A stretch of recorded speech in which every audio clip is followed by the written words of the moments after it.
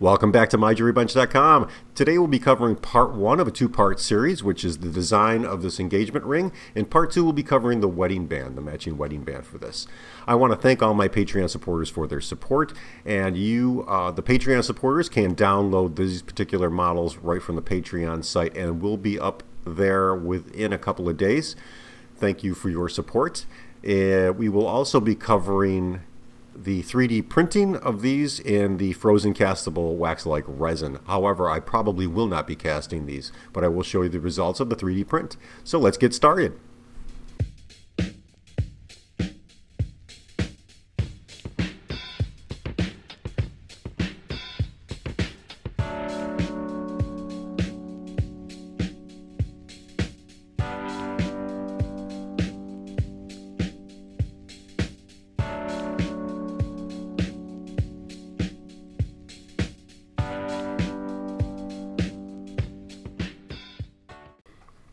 Okay guys, to get started, the first thing we have to do is start with a new blank screen. We're going to hit Shift A and we're going to add in a curve, circle. I'm going to size this curve up to about a size 17 or 17 millimeter, 17 millimeters in diameter. I am going to zoom out a little bit. I'm going to rotate that along the x-axis, RX90. And just in case my screencast keys are not on, so now they'll get those on there. Uh, with the circle selected, I'm going to hit Control A and apply all transformations. So now what we don't want to do is we want to give this our, our little design at the top. So I'm going to go into edit mode and then we have the top here. I want to move one point here left or right, and I want to move the other one in the opposite direction. So I'm going to do that from looking down at the top view. So with that dot selected, I will hit 7 on my keypad or go to top view using the tilde key, and I'm going to move this up four lines. So right about there. So I've got one, two, three, four. And now we want to do the same with this one. We want to move that down four lines, right about there. Now with that done, I'm going to go into my side view and look at this. And to make this a perfect circle, I'm just going to grab this dot here. I'm going to hold the shift key down, grab that dot there, and I'm going to hit S and then X. And I'm going to size it out just a little bit to give that more of a circle shape. There we go. And that is the design of our ring. I'm going to go into object mode so we can see that. The next thing we want to do is give this some dimension and to do that we're going to use the curve properties tab. So let's bring that over. I'm going to make this a little bigger. We'll come down to the curves properties tab and I am going to select active spline and the reason I'm going to do that is I'm going to increase the res resolution to 64. And we'll leave it at 60. So with that done, I've got my curve shape here. Now what I want to do is give this some dimension and to do that I need to right click on it. I'm going to shade flat so that we can see what it looks like. I'm going to zoom this out just like so and that looks pretty good. I like the way that looks. And now I'm going to come over to my modifiers tab select add modifier come down to solidify and then I am going to give this a thickness uh, until I'm pretty happy with it just going to eyeball it to about here. So if I look at that from the side view, that looks pretty good. From the other side, I'm kind of liking the way that looks. Now it's time to convert this to a mesh. So with that selected, I am going to right click on this and come down to uh, wherever the convert to mesh is, which is right here. And when I do that, it's going to apply the existing modifier, which is the solidify modifier, and convert this to a mesh. So there we go. If I go into edit mode now, you can see this is a mesh. Okay, so here's our mesh. We've got basically one side of it. The next thing I want to do is I want to create a loop in the middle. I'm going to come down, select my edge tool. I'm going to press Control R, and I'm going to put an edge loop or loop cut right through the middle of that. Press Enter twice. With that edge loop selected, I'm going to press P to separate it. Once that's separated, now I can go back into object mode, select this ring, we can get our cursor to click on it. There it is. And I want to convert that to a curve. So I will select that, come to object, convert to a curve. Now I will call this, I'm going to select it right here, we'll call this gem path, just so we have a name on it. And the next thing I want to do is take my object, go back into edit mode, select all, and then I'm going to add in a modifier to mirror this. And when I'm happy with that, I will go back into object mode and then hit apply. So now I've got one ring that you can see here uh, with the shape that I was looking for and I have the, the path that I want for my diamond. So let's go back into object mode and then select our path and you can see it right there. That being done, the next thing to do is add in the gemstones that I want. And I want seven gemstones along each side, maybe six. We'll do six gemstones along each side. And I'm going to make those about two millimeters in diameter. So let's go to our Jewelcraft tab. We're going to hit Add Gem. I'm going to select 2.0 millimeters and then hit OK. And there's our gem. Now that might be a little bit too big and it sure does look big. So let's get rid of that. X. And let's come down to Jewelcraft, do add, and let's do uh, 1.5 millimeter. That looks about right. So with that diamond selected, now I want to select our path because we've converted that to a curve so now we can make our gemstones follow along that. So I will hit the shift key and then try to select my path. So let's do that. Actually, let's grab our path. Let's size this up a bit. There we go, right there. Select our diamonds. Now it's a little easier to select our path. Shift, then select the path so both objects are selected, and then hit Curve Scatter. With that done, now we want to move the endpoint and the start point. So I'm going to hit uh, start. We'll bring that all the way over to here. And then the endpoint, let's just get that all the way over there.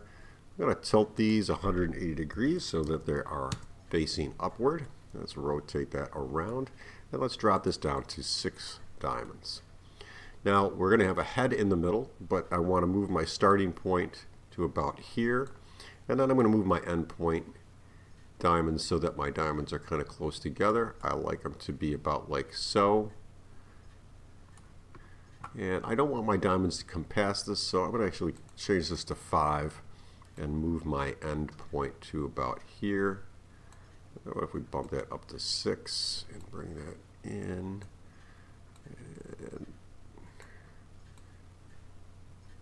Uh, no, it's still not bad. Let's go back to 5 and to bring that down. I'm going to bring this up a little bit, so something about like so. so there's my first row of diamonds. I like the way that looks. And with that done, now what I'm going to do is do the exact same thing with five diamonds on the other side. So I will add in another gem. One and a half millimeters. I'm going to add that there. I'm going to select that with the mouse and I will grab my arch or my path so we can do a curve scatter and now we've got five gemstones. We want these on the opposite side. So let's move that down to here. Let's move the endpoint to about there. We'll look at this from the top view and just see where I need to move my gemstones to get them in approximately the same position. That looks about right. And looks like our starting point needs to come up just a little bit.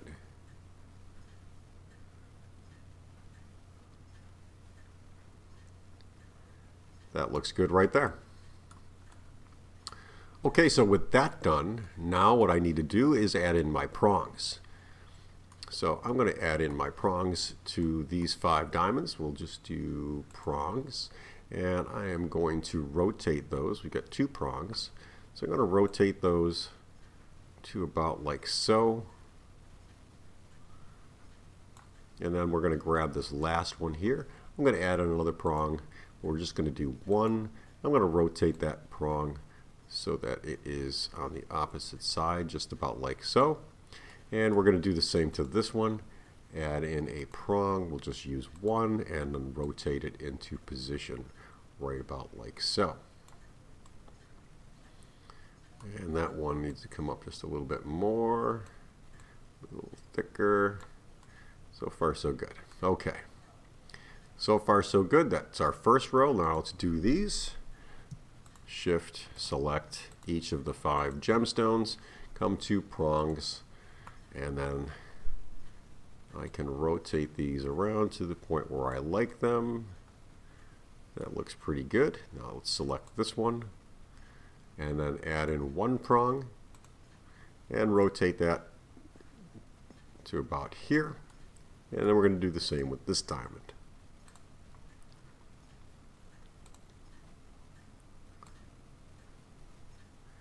And for some reason that one got small again, so we're going to bump that up a little bit. Right about there. And let's bring that up right about like so. And that is that. The next step I need to do is make sure that these prongs are all part of our mesh. So I'm going to select our ring. I'm going to hold the shift key down and select each of these prongs like so. I'm going to come over to the edit menu, select my boolean tool and then union and that should change all of those prongs into one object. Now we will select each of these prongs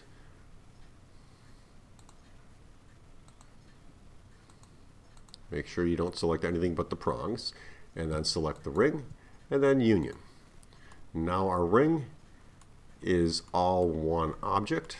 Our diamonds are in there. And then what we have to do is add the cutters. So I'm going to select all of these diamonds one at a time.